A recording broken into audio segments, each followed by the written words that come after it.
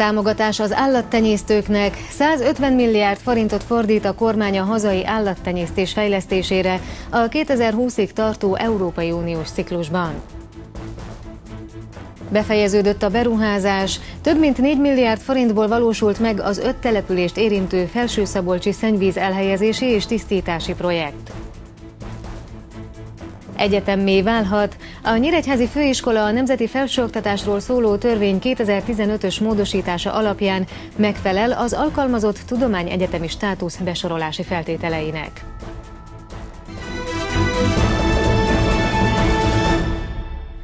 150 milliárd forintot fordít a kormány a hazai állattenyésztés fejlesztésére a 2020-ig tartó Európai Uniós ciklusban, jelentette ki Újfehértón Nagy István, a Földművelésügyi Minisztérium parlamenti államtitkára. A Kölcsei Televízió híradóját látják. Köszöntöm Önöket! Bár a 2000-es évek elején drasztikusan lecsökkent az állatállomány Magyarországon, az utóbbi évek támogatásainak köszönhetően azonban ismét egyre több gazdálkodó tart állatokat, illetve fejlesztik a meglévő telepeket. A pénteken átadott újfehértói Molnár farmot közel 700 millió forintból bővítették és újították fel. Az ezredfordulót követően hanyatlott az állattenyésztés Magyarországon, majd 2011 óta egy közel 15%-os emelkedés mutatkozik sertés, szarvasmarha és tenyésztésben. A versenyképes mezőgazdaság érdekében a magyar kormány Európai Uniós forrásokkal kiegészülve összesen 150 milliárd forinttal támogatja az állattenyésztést a következő években. A fejlődéshez azonban szemléletváltásra is szükség van. Egy technológiai korszerűsítést szeretnénk, hiszen nem elég csak az, hogy meglegyenek az állatok, nyilván kellenek természetesen kiváló minőségű állatok, de egy olyan korszerű technológia és korszerű takarmányozás szükséges ahhoz, hogy előrébb tudjunk lépni, amivel versenyképesek tudunk lenni. Ehhez kapcsolódik szigorúan a GMO-mentes helyzetünk, Szeretnénk elérni azt, hogy Magyarországon a tej, hús, tojás, hal és méz az GMO-mentes lehessen. Ezt külön védjegyel szeretnénk tanúsítani, hogy egy olyan piaci szegmens tudjunk megnyitni nem csak Magyarországon, hanem Európa más piacain is, ahol a magyar gazdák termékei oda tudnak kerülni. Az újfehértói Molnár Farm már 40 éve működik, állat- és növénytermesztéssel egyaránt foglalkoznak. Közel két éve kezdték el fejleszteni nagyobb mértékben az állományt a 700 millió forintos beruházáshoz 300 millió forintos támogatást nyertek. A fejlesztésére mindig szükség van, aki ebbe dolgozik, vagy ebbe él. A megvalósítás három sertési stálónak a felújítása, korszerűsítés lett. Egy, kettő darab marhaistáló épült, egy termintároló épült, kettő darab silótároló, egy száros takarmánytároló, az átadáson Újfehértó polgármestere Nagy Sándor beszédében kiemelte a városa megye negyedik legnagyobb mezőgazdasági területtel rendelkező települése, ezért is fontos, hogy a térség minél több támogatáshoz jusson. Simon Miklós országgyűlési képviselő arról szólt, hogy ebben az évben a szélsőséges időjárás nem kedvezett a gazdaságban dolgozóknak. Az öntözési kultúrát a megyében fel kell fejleszteni, hogy az időjárás kitettségét csökkenteni tudjuk. Ugye a termés eredmények kukoricából, gabonából is igen gyengék a szárasság miatt, máskülönben pedig azt látom, hogy a technológiai fejlesztés is nagyon szükségeltetik, főleg az állattenyésztés tekintetében, úgyhogy a Molnár család az úttörő ilyen tekintetben, hogy a családi gazdaságok is meg tudnak újulni, hogyha van hozzá akarat, és van hozzá pénz. Arra biztatnám a gazdálkodóinkat, hogy most éljenek a lehetőségekkel. A fiatal gazdák kamatmentes hitelhez is juthatnak az állami támogatások mellett, azonban fontos, hogy vidéken maradjanak. Több mint 4 milliárd forintból valósult meg az öt települést érintő felső szabolcsi szennyvíz elhelyezési és tisztítási projekt. A támogatás intenzitása a beruházás végére 100%-ra emelkedett, ehhez Európai Uniós és belügyminisztériumi önerő alapból kapott segítséget a Felső-Szabolcsi Vízi Közmű Beruházási Társulás. A társulás által megpályázott beruházás két részből állt. A felújítási munkák Dombrád és Ajak városát érintették, ahol hálózati rekonstrukciókat végeztek, és a szennyvíz tisztító telepek teljesítményét növelték. A zöldmezős projekt keretében Gyulaházán, Nyírkarászon és Anarcson épült ki a szennyvízhálózat egy közös tisztító teleppel. Nálunk nem volt még kiépítve, ez az egy közművünk hiányzott, szennyvízbe, szennyvízzel, szennyvíz vezetékrendszerrel, illetve tisztítóval nem rendelkeztünk, tehát nem csak mi, hanem itt sem Nyírkalász, sem Anas település. Úgyhogy ennek a három településnek ez tulajdonképpen egy szűzberuházása. De mivel csak úgy lehetett pályázni abba az időszakban, amikor benyújtottuk ezt a keopos pályázatot, hogy érinteni kellett felújítást is és beruházást is, ezért kapula jött nekünk, meg mi is nekik, Ajak és Domrádnak a felújítása, rekonstrukciója, és így tulajdonképpen az öt település együtt valósította meg ezt a projektet. Az átadó ünnepségen elhangzott, a beruházás Nyírkarászon több mint 800, Gyulaházán és Anarcson pedig közel 700 ingatlant érint. A teljes szennyvíz beruházás mintegy 8500 lakos számára nyújt magasabb minőségű közüzemi szolgáltatást, teljes egészében pályázati forrásból. Ez azt jelenti, hogy sem a lakók, sem az önkormányzatok számára nem jelentett többletköltséget a beruházás. Ez a közös öt települést érintő projekt 2007 év vége felé indult el. Első körben egy erős 3 milliárd forintnyi összberuházási költséggel, aztán két részletben, két idő, időben növekedett meg a projekt ugye az eltelt évek során. 3,5 milliárdra, majd legutóbb 4, 4, erős 4 milliárd forintra. 85%-os Európai Uniós támogatási, támogatási intenzitással kezdtünk bele a projektbe, és büszkén tudom bejelenteni, hogy ma itt az árójön ünnepségen már mindenki konstatálhatta, minden település önkormányzata polgármestere, hogy 100%-os finanszírozott lett. Ugye az öt település az Ajak, Domrád, Gyulaháza, Nyírkarász és Anarcs települések. A Gyulaházi ünnepségen a Nemzeti Fejlesztési Miniszter azt hangsúlyozta, példaértékű volt az öt település összefogása. Önmagában EU-s forrást lehívni kis településeknek jelentős mértékben sokkal nehezebb, vagy szinte lehetetlen. És ezért fontos, hogy igenis meglegyenek azok a települési összefogások, ahol már 10-15, akár 20 ezer lélekszámú települések tudnak összefogni egységesen, és akkor már lehet jelentős beruházásokat véghez vinni. Sesták Miklós hozzátette, ilyen összefogással akár megújuló energiával működő erőműveket is létesíthetnek az önkormányzatok pályázati támogatás igénylésével. Egyetemmé válhat a Nyíregyházi Főiskola. Az intézmény ugyanis a Nemzeti Felsőoktatásról szóló törvény 2015-ös módosítása alapján megfelel az alkalmazott tudományegyetemi státusz besorolási feltételeinek. A változásról egy kormánydöntés után az országgyűlés határozhat, előre láthatóan már novemberben. A Nyíregyházi Főiskola nevében Kis Ferenc általános rektor helyettes, az intézmény vezetője és Kvanc József kancellár ez év őszén kezdeményezte az Emberi Erőforrások Minisztériumának felsőoktatásért felelős államtitkáránál az intézmény jogállásának megváltoztatását. Ezt az indokolta, hogy a törvényi előírások szerint megfelel az egyetemi minősítésnek az intézmény. A felsőoktatási törvény szabályozza azt, hogy ebben az esetben alkalmazott tudományok egyeteme mely intézmény lehet. Nem mondok el mindent, csak néhány paramétert szeretnék elmondani. Például alapszakból, ugye az új bolonyai típusról beszélek, legalább négynek kell lenni, mesterszakból pedig legalább kettőnek. És akkor a Nyíregyházi Főiskola hogy áll ezzel? Alapszakunk több mint 30 van, tehát én úgy gondolom, hogy megfelelünk. Mesterszakunk, ha az új típusú tanárképzést is ide veszem, már pedig az is mesterszak, akkor ebből kétszer annyi van, mint a törvény a minimumot előír.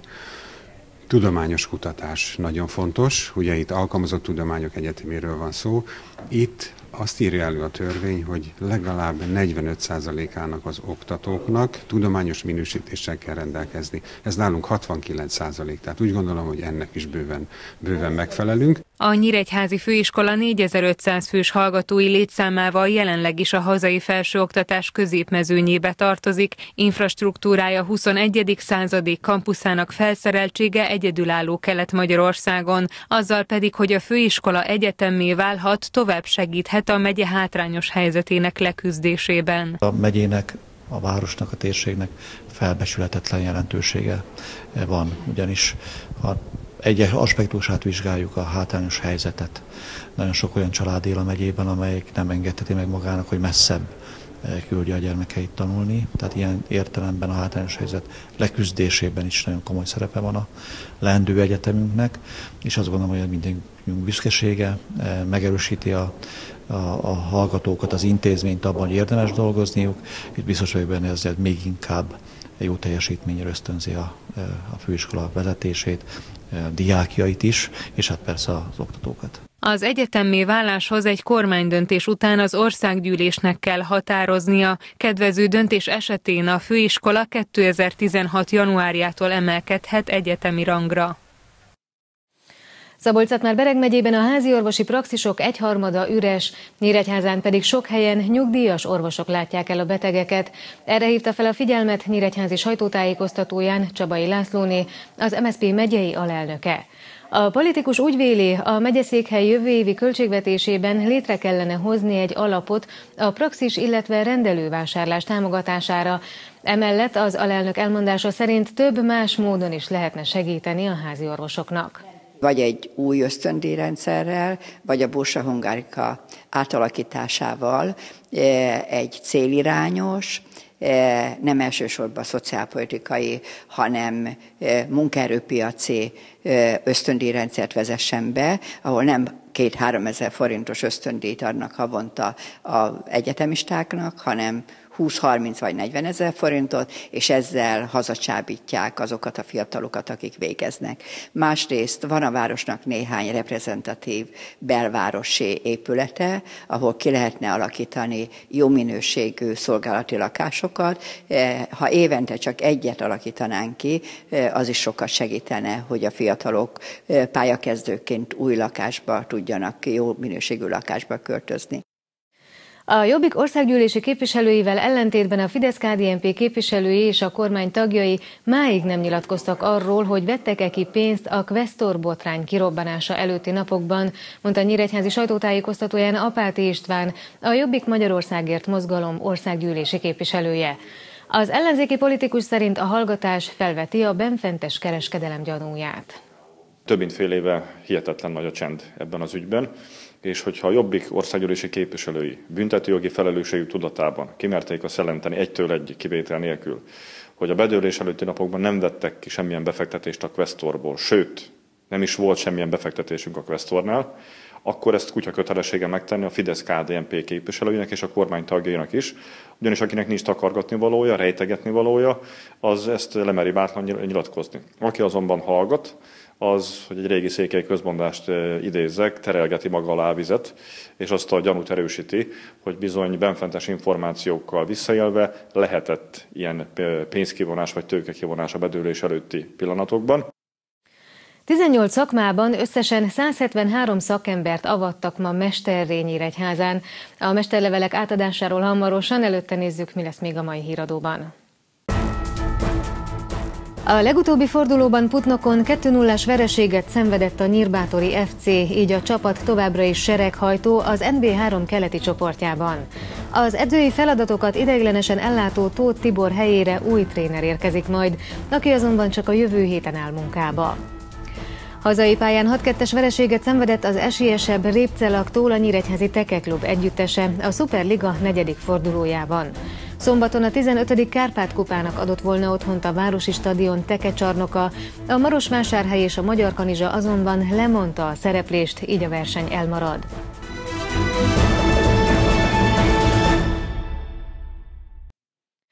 18 szakmában összesen 173 szakembert avattak ma Mesterrényíregyházán. A Magyar Kereskedelmi és Iparkamara dolgozva tanulj című projektjének közel két éve alatt támogatott mesterképzéseken vettek részt, többek között fodrászok, autószerelők és szakácsok. A programnak köszönhetően 300 ezer forint helyett mindössze 60 ezer forintba került a mesterképzés és mestervizsga.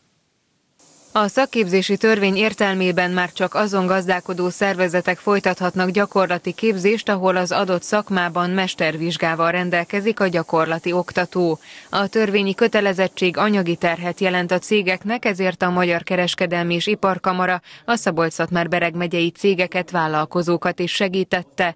19 szakmában összesen 180 főnek biztosítottak támogatott mesterképzést a Dolgozva Tanulj című projekten belül. Végül 18 szakmában 173 mester vehette át a szakma legmagasabb szintű tudását bizonyító mesterlevelet. Tanulókat is foglalkoztatok, és ugye kijött egy olyan rendelet, hogy ezentúl nem lehet már csak mesterképzésen résztvevőknek tanítani, és ez, ez nagy segítséget kaptunk, 300 ezer helyett 60 ezeret kellett csak fizetnünk, és fő ez volt a másik motiváció. A program során a hallgatók pedagógiai, vállalkozási ismeretekre tehettek szert, de a szakmájukban új technológiai módszereket is megismerhettek, hangzott el a rendezvényen.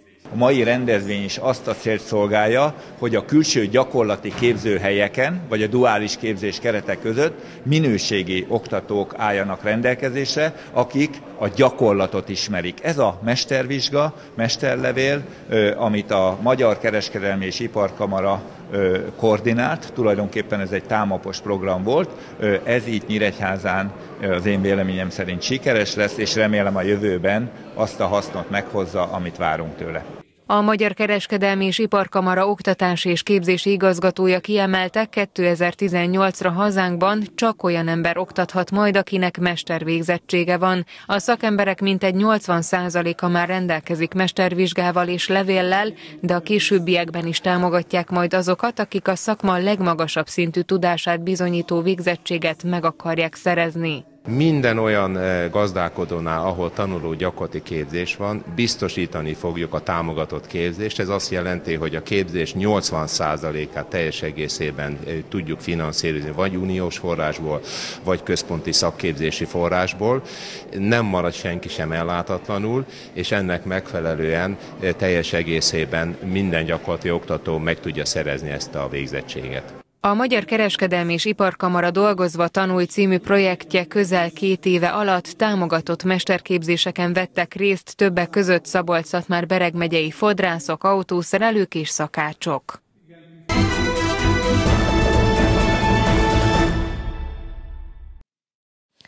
A legutóbbi fordulóban Putnokon 2-0-ás vereséget szenvedett a Nyírbátori FC, így a csapat továbbra is sereghajtó az NB3 keleti csoportjában.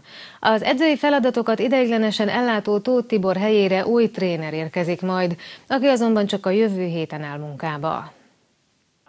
A legpesszimistább szurkolói várakozásokat is alulmúlta a Nyírvátori FC eddigi szereplése, a csapat 9 mérkőzésen mindössze három döntetlen ért el, és ezzel az utolsó helyen áll az NB3 keleti csoportjában. A bátoriak csak 7 gólt lőttek, viszont 29 alkalommal állhattak fel a kapott gól utáni középkezdéshez. Mi sokkal többre számítottunk, eh, bár már előre lehetett tudni, hogy ez a bajnokság ez más eh, kávéház lesz, mint az elmúlt bajnokság, hiszen három feljutó csapat van, és jelenlegi szabályok szerint igencsak kecsegtető az MB2 szereplés, tehát ezt a kettő vagy három feljutó helyre 5-6 csapat nagyon komoly erősítéseket eszközölt, amivel mi anyagiakban nem tudjuk felvenni a versenyt, meg jelenleg nem is célunk az, hogy másodosztályba szerepeljünk. A másik oka az, hogy a liga csapatok, akik jelen bajnokságba csatlakoztak ehhez a csoporthoz, a ők szintén sokkal erősebb összetételbe szerepeltetik a csapataikat, mivel megszűnt a ligakupa, és így azok a játékosok, akik az NB1-ben nem szerepelnek, azok rendre az NB3-as bajnokságban játszanak. A szezont Kovács János irányításával kezdte a Nyírbátor, majd az ötödik fordulót követően ideiglenesen Tóth Tibor ült le a kispadra, aki a legutóbbi forduló után visszatért az ifjúsági csapathoz. Az új trénert már megtalálták a klub vezetői, a szakember neve azonban egyelőre még nem publikus. Már van megállapodás reményeim szerint a csapat jövőbeni edzőjével, de mivel jelenleg is állása van, ezért ezt még nem tudjuk bejelenteni. Attól függ, hogy mikor csatlakozik az Egyesületünkhöz, hogy a jelenlegi munkaadójával hogy tud megállapodni. Addig ismét egy idéglenes edzőnk van, mivel a Tóth Tibor, aki a legutóbbi edzőnk volt, ő az ifjúsági csapatoknál betöltött szerepe miatt és, és egyéb okok miatt már nem tudja továbbiakba ellátni a feladatát, így a csapat legrutinosabb játékos Ambrus Árpád látja el a héten az edzői feladatokat. A Nyírbátor a tizedik fordulóban a tájas csapatát fogadja. A mérkőzés szombaton 15 órakor kezdődik a Sport utcai pályán. Hazai pályán 6-2-es vereséget szenvedett az esélyesebb Répcelaktól a Nyíregyházi Tekeklub együttese a Superliga negyedik fordulójában. Szombaton a 15. Kárpát-kupának adott volna otthont a Városi Stadion tekecsarnoka, a Marosvásárhely és a Magyar Kanizsa azonban lemondta a szereplést, így a verseny elmarad. A válogatott játékosokat felvonultató répcelak ellen jól kezdtek a hazaiak, a 616 fáig jutó Szovenszki Tibor pontot szerzett az első körben, amely után mindössze 20 volt az NTK hátránya. A középső harmadban elléptek a vendégek, így a záró részben már csak az volt a kérdés, hogy sikerül-e újabb pontot szerezniük a nyíregyháziaknak. Szegő Levente végül jobbnak bizonyult riválisánál, így 6-2-es répcelaki győzelemmel ért véget a mérkőzés. A vereség az mindenképpen papírforma, de a 6-2-es arányú különbség az egyáltalán nem papírforma. Abszolút benne volt ebbe a répszaki csapatba, hogy ők 8-0-át szerettek volna velünk játszani, illetve tavaly 7-1-re diadalmaskodtak felettünk, úgyhogy azt lehet mondani, hogy mindenképpen fejlődött ez a nyíregyházi csapat, és abszolút nem felemelt kézzel játszottunk, és azt mondom, hogy bőven volt tanulsága ennek a mérkőzésnek, és igenis érdemes volt ezekkel a jóval egyrősebb, jó játékosokkal megmérkőzni, és végül is magunkat is egy kicsit felmérni, hogy mennyire vagyunk képesek, meddig tartjuk velük az iramot, úgyhogy mindenképpen egy nagyon jó mérkőzés volt számunkra. Szombaton a 15. Kárpát-kupának lett volna a házigazdája az NTK, azonban a romániai Marosvásárhely nemzetközi kupakötelezettsége, a szerbiai Magyar Kanizsa pedig a déli határon kialakult helyzet miatt lemondta a szereplést, így a Nyíregyházi klub vezetése úgy döntött, hogy nem rendezi meg a versenyt. Híradunk végén nézzük a legfontosabb híreket még egyszer néhány mondatban. 150 milliárd forintot fordít a kormány a hazai állattenyésztés fejlesztésére a 2020-ig tartó Európai Uniós ciklusban, jelentette ki Újfehértón Nagy István a Földművelésügyi Minisztérium parlamenti államtitkára.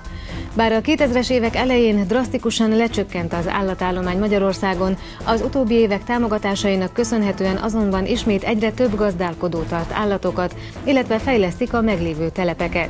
A pénteken átadott újfehértói Molnár farmot közel 700 millió forintból bővítették és újították fel. Több mint 4 milliárd forintból valósult meg az öt települést érintő felső szabolcsi szennyvíz elhelyezési és tisztítási projekt. A támogatás intenzitása a beruházás végére 100%-ra emelkedett.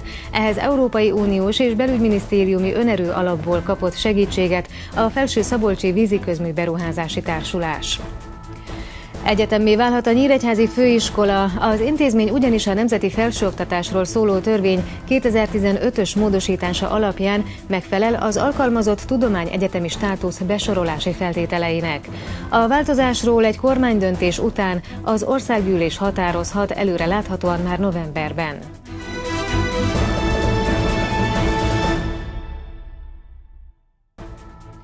A Kölcsei Televízió híradóját látták pénteken, a legfrissebbekkel hétfőn este jelentkezünk, híreinket addig is megtekinthetik honlapunkon. De munkatársaim nevében is köszönöm szépen a megtisztelő figyelmüket viszontlátásra!